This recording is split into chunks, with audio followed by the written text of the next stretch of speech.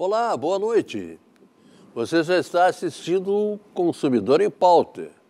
Você sabe que esse é um programa de utilidade pública aqui da TVE, que vai ao ar diariamente de segunda a sexta-feira, logo depois do radar, e a gente fica até às sete horas da noite aqui para é, responder perguntas sobre direito do consumidor, direito do trabalho, direito previdenciário, direito de família e direito imobiliário. São os assuntos que nós tratamos aqui no programa para esclarecer as dúvidas de vocês. Vocês podem perguntar sempre para a gente qualquer dúvida que você tenha a respeito de qualquer um desses assuntos que eu citei há pouco, vocês podem mandar para cá uma pergunta que nós temos sempre alguém que vai responder as perguntas de vocês. Tá bem? Vocês podem mandar perguntas pelo nosso telefone, que é o 3230 1530, ou então através do nosso e-mail, que é consumidorempauta.com tve.com.br. Hoje nós vamos tratar de direito do trabalho.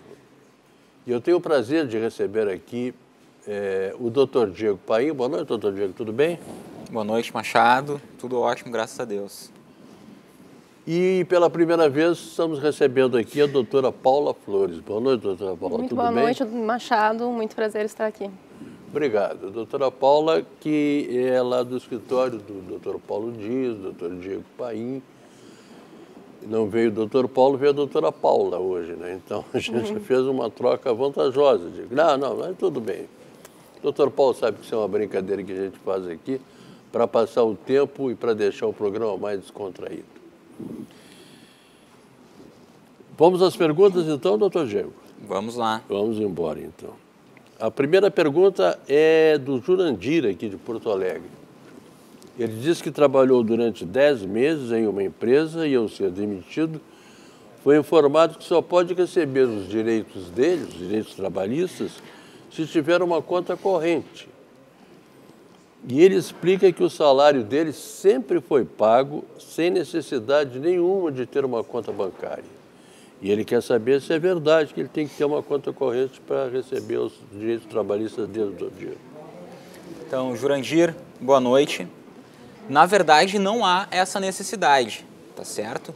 O que, que a CLT prevê? A CLT prevê lá no artigo 477, parágrafo 4 que o pagamento das verbas rescisórias ele pode ser feito mediante dinheiro, depósito bancário ou cheque visado, conforme acordem as partes. Então a gente pode observar pelo texto da CLT que a forma de pagamento depende de acordo entre as partes. O que, que não é, o que, que não pode, né? É a empresa obrigar o empregado a abrir uma conta bancária a fim de receber os pagamentos. E eu entendo também que não é razoável que a empresa agora no final do seu contrato, só falta receber o pagamento da rescisão, que ela solicite que o senhor abra uma conta bancária a fim de receber somente a rescisão, né? Ainda que seja aquela conta salário, que em princípio não possui nenhuma tarifa. Então, o que, que eu aconselho para o senhor? Solicitar para a empresa que realmente, se a empresa insiste em fazer o pagamento da sua rescisão através de uma operação bancária, que ela faça mediante um depósito numa conta que o senhor informe. E aí pode ser uma conta bancária de algum familiar seu, uma conta da sua esposa, do seu filho. Então, basta que o senhor informe para a empresa alguma conta bancária, se ela realmente opta por fazer o pagamento assim. E aí a empresa providencia pegar um recibo com a sua assinatura, que o senhor está recebendo aquele valor pelas verbas rescisórias, e de quitação nesse pagamento. Só lembro que o prazo para fazer o pagamento da rescisão é de 10 dias a contar do término da relação contratual. Tá, seu Jurandir, só não vai depositar numa conta aí que depois a pessoa não quer pagar para o senhor o dinheiro, né? Ó, tá aqui na minha conta é meu. Não, estou brincando. Isso é uma brincadeira. Tem que conferir bem os dados antes de é. passar para a empresa, né? Mas, doutora Paula, vamos lá então. O senhor José Carlos, ele mora aqui na Cavalhada, aqui em Porto Alegre. Ele diz que trabalha em horário noturno e faz frequentemente horas extras. Eu gostaria de saber como são calculadas essas horas extras noturnas. Perfeito. É uma inteligente pergunta, senhor José Carlos. Bom, o trabalho noturno ele é regulado pelo artigo 73 da CLT e ele diz que todo trabalho elaborado entre as 22 horas e as 5 horas do dia seguinte é considerado noturno e é necessário um adicional de 20% sobre essa hora trabalhada. A hora noturna, por ser considerada uma hora mais penosa, ela é uma hora reduzida, é uma hora diferente da hora diurna. Essa hora reduzida é consistente em 52 minutos e 30 segundos. Bom, a nossa Constituição, ela prevê para a, para a hora noturna o pagamento de adicional de 20%. E como que funciona a hora extra noturna? A hora extra noturna nada mais é do que uma hora trabalhada com adicional de 20% pelo adicional noturno e mais 50% pelo adicional da hora extra. Portanto, é uma hora com dois adicionais por ser um trabalho noturno. E a partir de que horas e até que horas essas, é, a hora vale 52 minutos? A partir das 22 horas até as 5 horas da manhã do dia seguinte, conforme CLT. Acaba que das 22 às 5 dá 7 horas, né? É, exatamente. Que equivale a, a 8 horas, só que de uma forma reduzida, os 50, pelos 52 minutos e 30 segundos. Talvez se arranje isso para ver se fazem isso aqui também, lá. Pra, tem que trabalhar menos um pouco, né? afinal de contas. Mas eu acho que está muito certo. Esse negócio do, do, pessoal trabalhando de noite, trabalhando no horário noturno, é sempre mais cansativo, é sempre mais problemático, né? Com Maior então, desgaste físico, né? É, claro. Então o pessoal que trabalha à noite merece. Doutor Diego, a dona Sandra, ela mora aqui em Porto Alegre. Trabalho como porteira no sistema de 12 horas por 36. Trabalho um dia e folgo outro. Se meu dia de trabalho cair em um domingo ou feriado, tenho direito a receber 100%? Sandra, né? Então, é. Sandra, muito boa noite. Essa questão foi alterada pela reforma trabalhista, certo? Na verdade, os domingos, para quem faz escala 12 por 36, ele nunca, o empregado nunca teve direito ao pagamento em dobro pelo domingo, mas sim pelo feriado. Então, antes da reforma trabalhista, o empregado que exercia a jornada em escala 12 por 36 ele fazia jus ao pagamento, quando trabalhasse no feriado, ao pagamento daquele dia em dobro.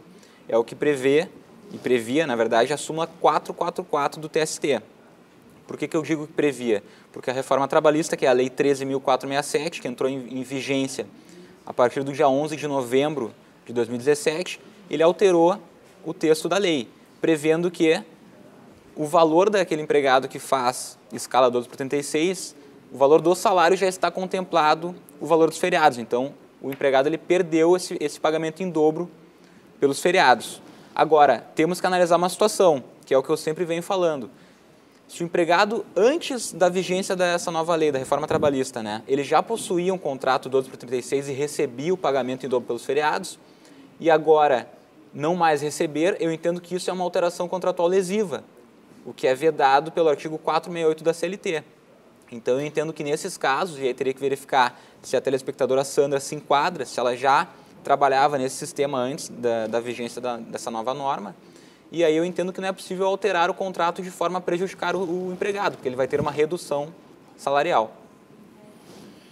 Tá vendo, dona Sandra? Então, aí, a senhora trabalha já há mais tempo nesse horário aí, né, o, nesse, nesse esquema de 12 por 36, como disse o doutor Diego aqui.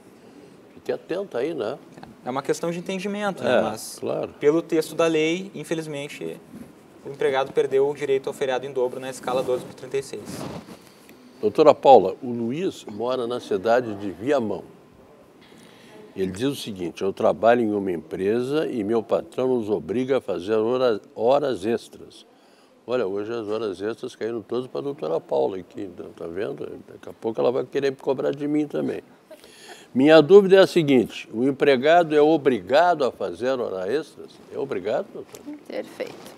Bom, senhor Luiz, seguinte, a resposta é não. O empregado não é obrigado a fazer horas extras.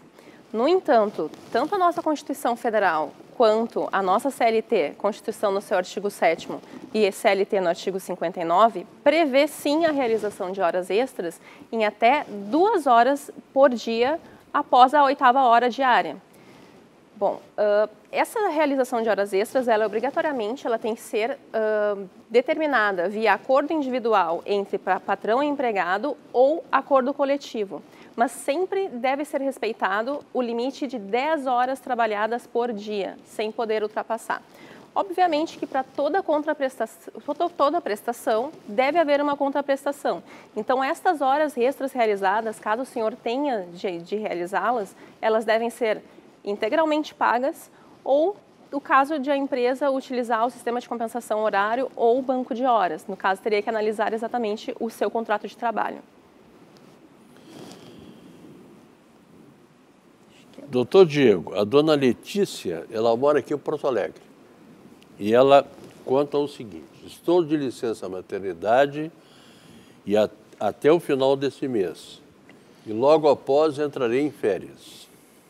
Segundo a pediatra da minha bebê, tenho direito a um atestado de 15 dias pra, para prolongar o aleitamento. Esse atestado seria dado pela própria pediatra, mas ela, mas ela disse que algumas empresas não aceitam. Fui verificar e fiquei sabendo que a empresa onde trabalho não aceita. Eu tenho ou não tenho direito a esses 15 dias? Pergunta a dona Letícia, doutor Diego. Pois bem, Letícia, boa noite. Realmente, essa questão ela causa muita confusão, então a gente vai ter que explicar com calma essa questão aqui, Machado. Toda a calma possível, doutor. É, há uma diferença entre o período de amamentação e o período da licença maternidade. O que, que é o período de amamentação? O período de amamentação vai até seis meses de vida do bebê e é aqueles períodos é, que a empresa concede, na verdade, dois períodos de meia hora por dia para a empregada que está amamentando para que ela possa amamentar o bebê até claro. o sexto mês é, de vida da, do bebê, né? Normalmente, o que acontece na prática? As empresas liberam a funcionária uma hora antes. Eles unem os dois intervalos de meia hora e liberam aquela funcionária uma hora antes. Isso vai até o sexto mês. Já a, o período de licença maternidade é concedido durante 120 dias, pode ser a partir do nascimento da criança ou até 28 dias antes do parto. E este período de licença maternidade pode ser é, prorrogado em duas semanas antes ou depois do parto, conforme diz o artigo 392, parágrafo 2 da CLT, é por motivo de saúde.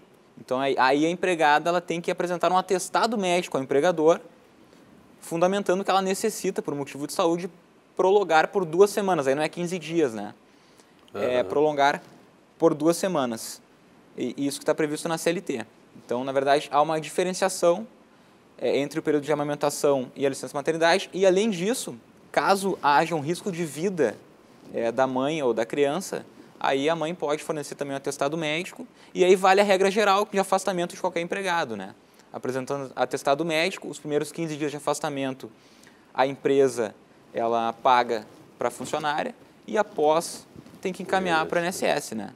Então, via de regra, são esses os prazos previstos lá no artigo 392 da CLT.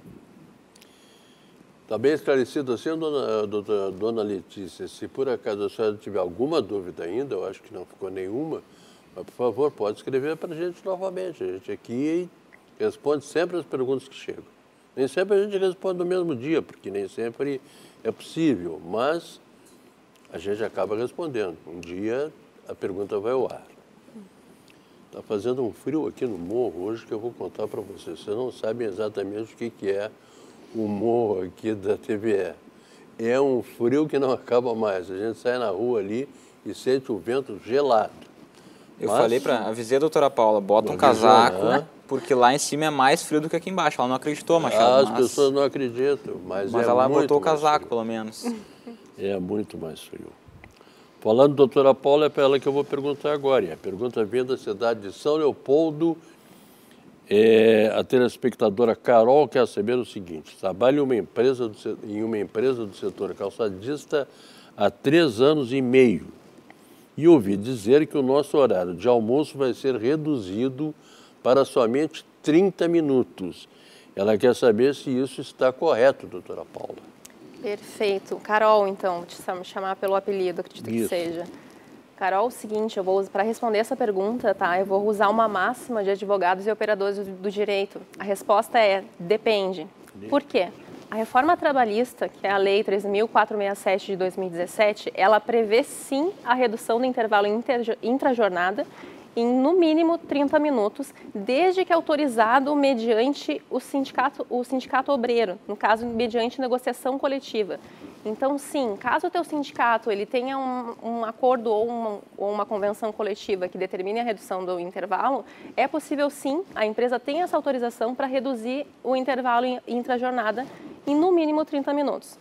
Tentando tirar uma boa notícia, né, uh, neste caso, o que, que eu posso te dizer é que não é apenas a redução do intervalo. Caso a empresa adote esta medida, obrigatoriamente ou a senhora deverá chegar 30 minutos mais tarde ou a senhora deverá sair 30 minutos mais cedo. Ou seja, junto com a redução do intervalo, deverá obrigatoriamente haver uma redução do teu horário de trabalho.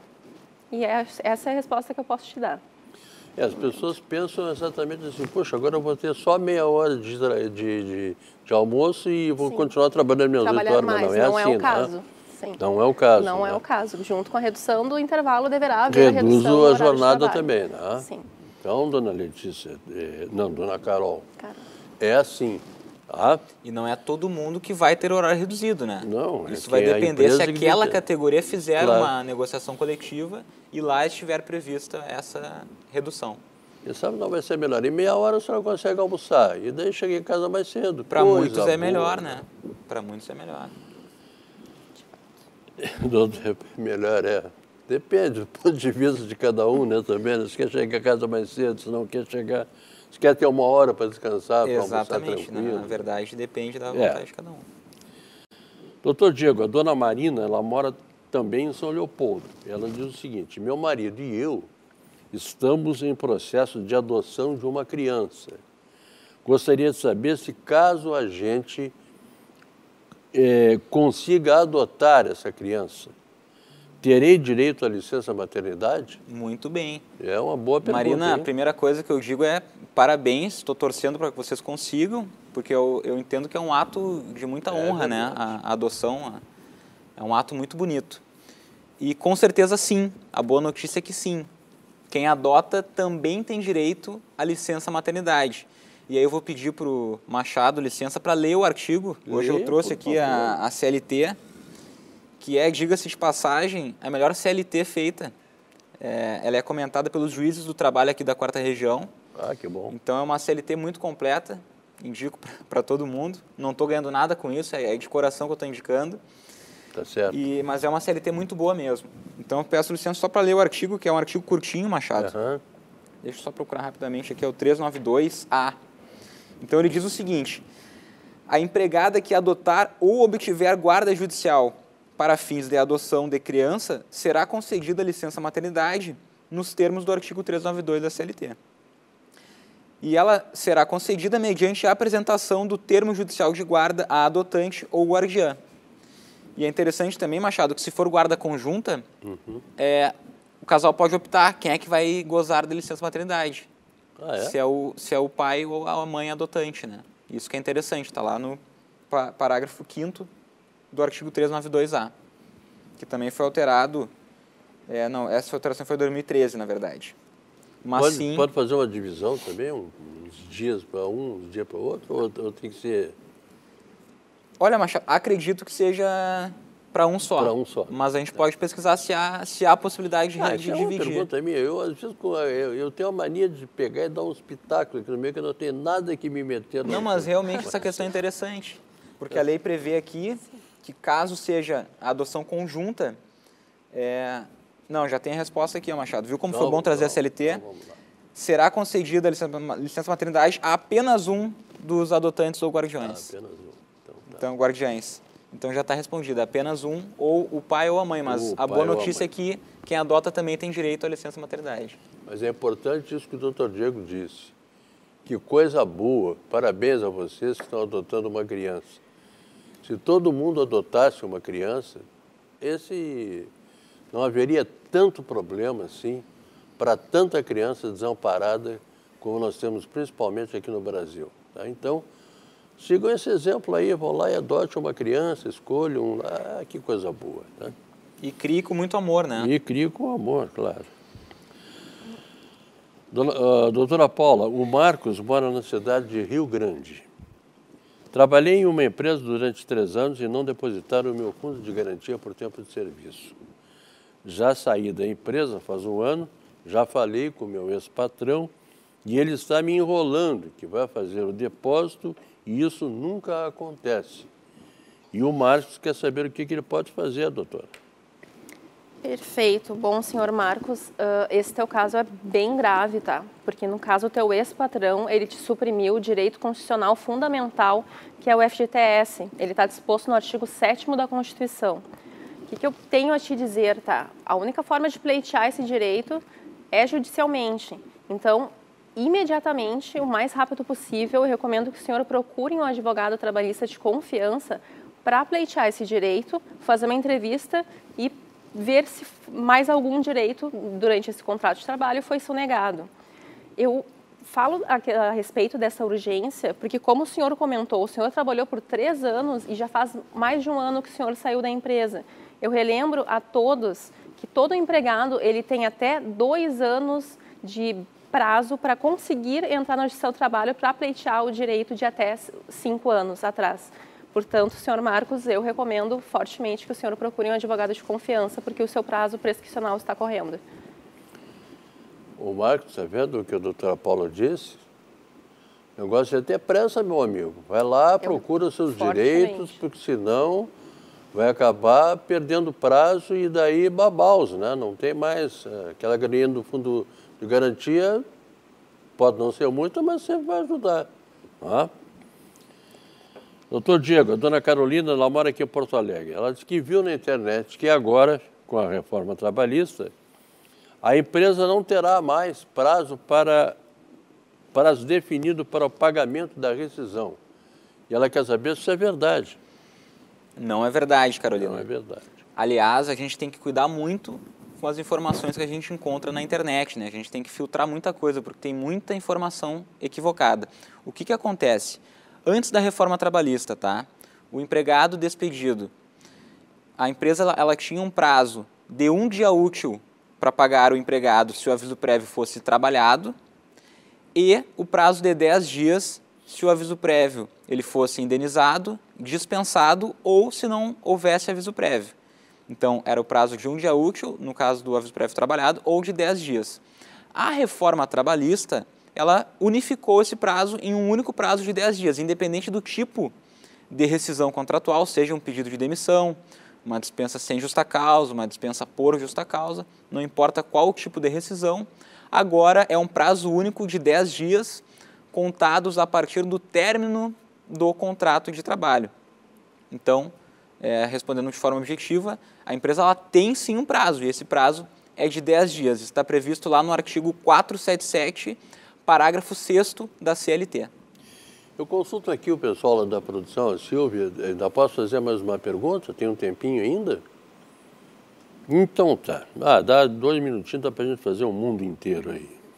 Doutora Paula, o Valmor mora na cidade de Triunfo. Ele trabalha numa empresa que por mais de 10 anos pagou adicional de insalubridade. Agora, alegando que a insalubridade foi eliminada, retiraram do meu salário esse adicional. Ele quer saber se a empresa tem esse direito. Perfeito, senhor Valmor. Seguinte, o adicional de insalubridade, ele é uma, uma verba remuneratória devida ao trabalhador que entra em contato com atividades que são nocivas à sua saúde. Portanto, é uma verba remuneratória que é condicionada a determinada atividade laboral a empresa pode sim retirar o adicional de salubridade desde que comprovada que ela conseguiu eliminar a condição insalubre. Por exemplo, é possível em determinadas atividades que o uso de equipamento de proteção individual, chamados EPIs, consiga sim elidir o, o contágio, no caso, a nocividade à sua saúde. Bom, acredito que seja o caso da empresa então, infelizmente, por mais que o senhor tenha recebido por mais de 10 anos, é possível sim que a empresa tenha, tenha retirado uh, o seu adicional. Eu informo também que a empresa, no caso a empregadora, ela tem o direito sim de retirar integralmente o adicional de salubridade ou alterar o adicional para cada uma da, das verbas, sendo o adicional de solidariedade grau mínimo em 10%, grau médio 20% e grau máximo 40%. Então, sim, é possível e é o entendimento majoritário, no caso do nosso Tribunal Superior do Trabalho, mediante a súmula 80. Em caso de extinção da condição insalubre, é possível sim retirar o determinado adicional.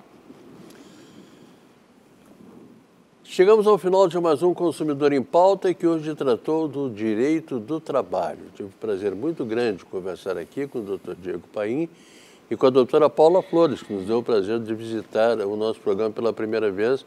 E eu já, lá, já deixo com ela o convite para que ela volte sempre que quiser. Tá? e diga-se de passagem, Machado, hum, é uma das melhores advogadas trabalhistas que eu conheço, viu? Então. Muito agradecida. Foi uma honra substituir o doutor Paulo. Não acredito que é a altura dele, mas foi uma honra. E muito obrigada pela equipe de Azipaim por, por fazer parte. Que bom. Eu quero dizer a todos vocês que vocês vão ficar agora com um programa sobre economia aqui na TVE e que eu volto amanhã. Seis e meia da tarde estarei aqui com o doutor Henrique Robaina para tratar de direito imobiliário. A todos vocês, muito obrigado, muito boa noite e até lá.